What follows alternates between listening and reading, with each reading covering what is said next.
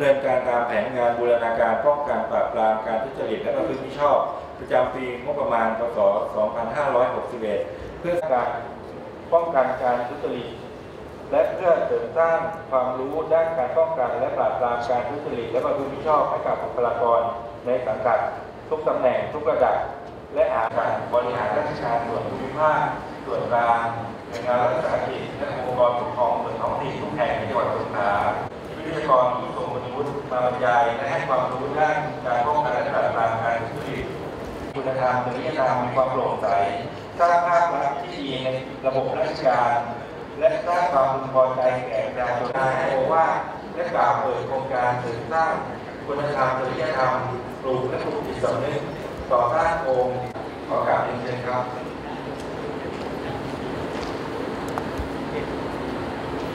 ประชุมได้สอบถามทางฝ่ายเลขาว่า วันนี้เป้าหมายที่เชิญมาในโครงการนี้ทราบว่าเราเชิญหัวหน้าส่วนราชการ และเจ้าหน้าที่สองท่าน ของส่วนราชการทั้งส่วนกลาง ส่วนภูมิภาคแล้วก็ตอนแรกฝ่ายเลขาได้รายงานว่าที่ลงทะเบียนน่าจะมาประมาณ 400 คน แต่ผมดูไปข้างหลังวันนี้แล้วเนี่ย แสดงว่า เป้าที่เราเชิญสนใจในเรื่อง ขอบคุณมากครับ ขออนุญาตในช่วงเช้ากาเรียนสั้น ๆ กับพวกเราว่า โครงการนี้เนี่ยปลุกจิตสำนึกข้าราชการของเราเองทั้งส่วนกลางส่วนภูมิภาคในเรื่องของการต่อต้านทุจริตคอร์รัปชันคอร์รัปชัน ในวงข้าราชการเยอะมากคำถามก็คือ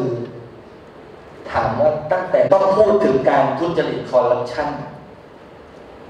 ของข้าราชการและบทลงโทษของมันเนี่ยทุกยุคประยุทธ์ท่านนายกรัฐมนตรีถ้าท่านเห็นปัจจุบันแล้วเนี่ยใช้มาตรา44 เยอะในเรื่อง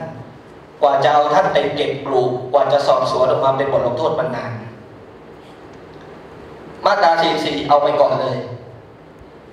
มีตำแหน่งจะพูดต่อไปว่า โครงการวันนี้เนี่ยครับ ผมย้ำนะโครงการวันนี้ที่เราเชิญส่วนกลางส่วนภูมิภาคส่วนทอนอย่างปปชปปทท่านอำนวย วันนี้ผมให้พิเศษสำหรับคนที่มาฟัง คือสอนท่านนะ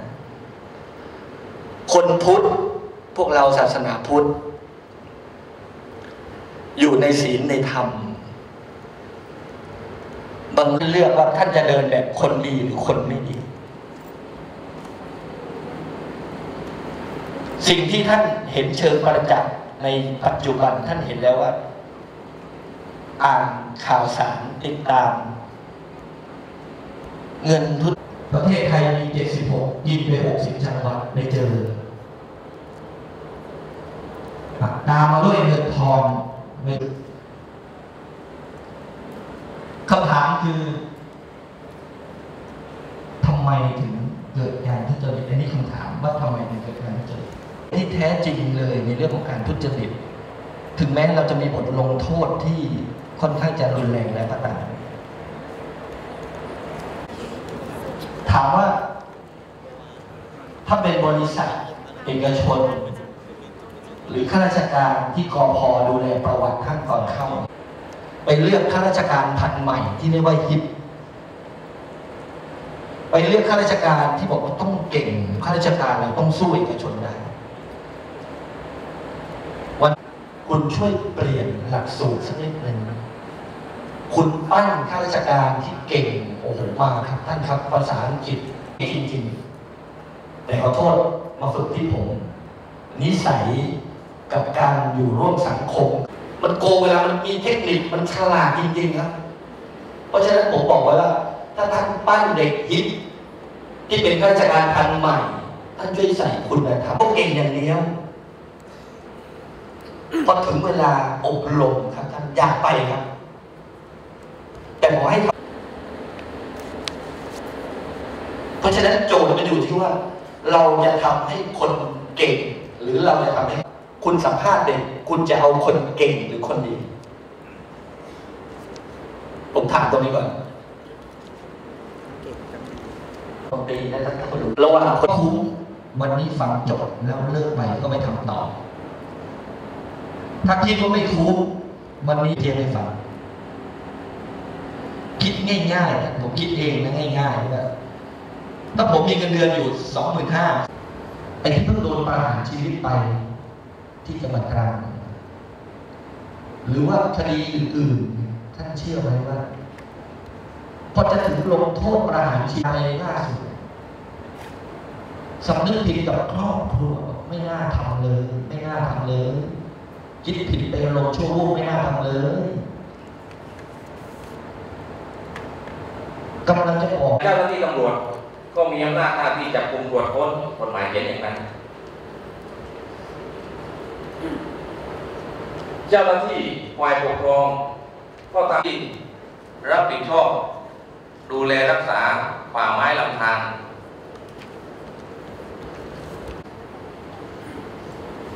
เขาไม่ได้ปิดทอนตำแหน่งหน้าที่นะเพราะหน้าที่เขาไม่มี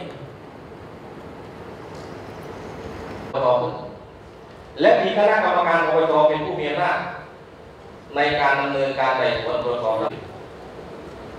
คณะกรรมการปปชมีอำนาหน้าที่หลักป้องกันการทุจริต ด้านการปราบปรามการทุจริต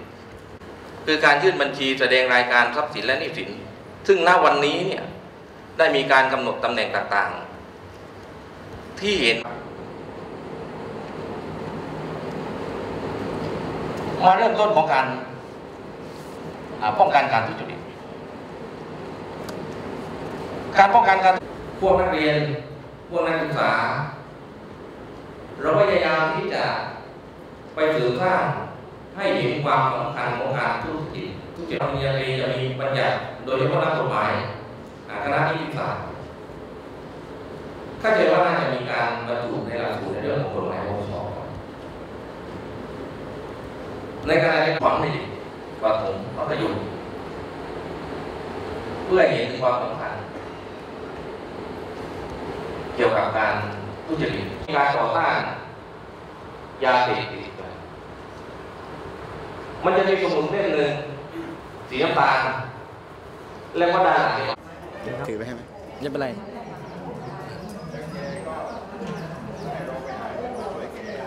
เอายังอะครับ วันนี้ทางจังหวัดสงขลาเองก็ได้จัดโครงการเสริมสร้างคุณธรรม จริยธรรมนะครับ ในการที่จะต่อต้านข้าราชการให้ไม่ทุจริตคอร์รัปชันซึ่งในวันนี้เนี่ยทางจังหวัดสงขลาเองได้เชิญหัวหน้าส่วนราชการแล้วก็เจ้าหน้าที่นะครับทั้งส่วนกลางส่วนภูมิภาคและท้องถิ่นนะครับจำนวนประมาณ 600 คนนะครับ มารับฟัง ซึ่งวันนี้เนี่ยผมได้มอบนโยบายในเรื่องของการที่ข้าราชการเราเนี่ยไม่ทุจริต ซึ่งเรียนว่าจากสถิติของสงขลาเองในปี 2561 ที่ผ่านมาเนี่ยมีข้าราชการของเราเนี่ยมีสถิติที่ในเรื่องของการทุจริตเนี่ยลดน้อยลงนะครับ แต่อย่างไรก็ตามเนี่ยในวันนี้เนี่ยเราจะเป็นการอบรมปลุกจิตสำนึก แล้วก็สอดแทรกในเรื่องของการที่จะชี้ให้เห็นถึง บทลงโทษก็ตาม หรือว่าคนที่ทุจริตก็ตามนะครับ มันไม่คุ้มค่านะครับ แล้วก็มันเกิดผลกระทบทั้งในเรื่องของชีวิตครอบครัว ทั้งในเรื่องของหน้าที่การงานนะครับ แล้วก็ในวันนี้เนี่ยในภาคบ่ายเนี่ยก็จะเป็นการเชิญทางท่านเจ้าวาดวัดแหลมพอได้มาสอนได้มาชี้แจงในเรื่องธรรมะนะครับ แล้วก็โครงการในวันนี้ครับผมเรียนว่าเราย้ำว่าตัวชี้วัดของเราก็คือว่า ข้าราชการของสงขลาเองจะต้องเป็นคนที่มีเหตุผลนะครับ แล้วก็มีคุณธรรมจริยธรรม สิ่งสำคัญคือจะต้องเป็นการไม่พฤติประพฤติผิดในเรื่องของการทุจริตคอร์รัปชันแล้วก็ต่อต้านคนโกงในองค์กร ซึ่งผมมั่นใจว่าในโครงการในวันนี้เนี่ยก็จะสร้างความเชื่อมั่นของข้าราชการคนที่ทำดี ก็จะไม่ไปคิดในในสิ่งที่ไม่ดี ไม่ไปคิดในเรื่องของทุจริตคอร์รัปชัน ก็จะช่วยให้ประเทศชาติในการพัฒนา แล้วก็ลดคนโกงลง ผมเชื่อมั่นว่าตัวชี้วัดของโครงการนี้ที่เราทำ 600 คนนี้